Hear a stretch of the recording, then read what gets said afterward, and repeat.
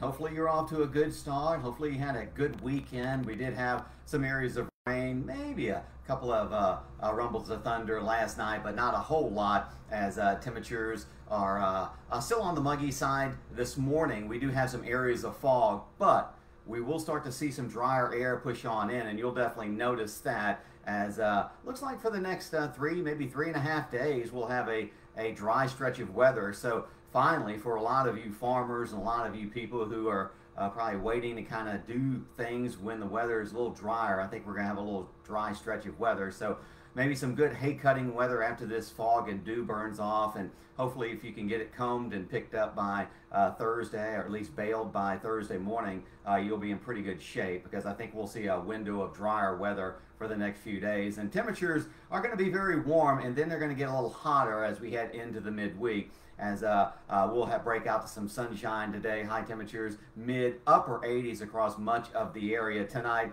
Uh, skies remaining mostly clear now. It's not going to be as humid and it may be just a little bit milder, especially outside of Chattanooga as lows fall into the 60s, between about 63 and 67, depending on location and elevation as we head into uh, your Tuesday. Lots of sunshine, highs into the upper 80s, maybe close to 90. And then by Wednesday, it's going to get hot as uh, we'll have mostly sunny skies. Still looking dry, high temperatures 90 to 92. And then by Thursday, a little more typical summertime weather returns about 90 to 92 Thursday and Friday with a few widely scattered afternoon showers and storms starting to pop back up. And it looks like that theme will continue into next weekend. So it's going to get on the hot and humid side, but once again, we're going to dodge the major heat as we head into the uh, middle of July. Looks like that's going to stay off to our west into Texas and Oklahoma, uh, where it has been over the last several weeks off and on. So uh, looks like a pretty good start to our work week. We'll have a little drier window of weather for three, maybe three and a half days. So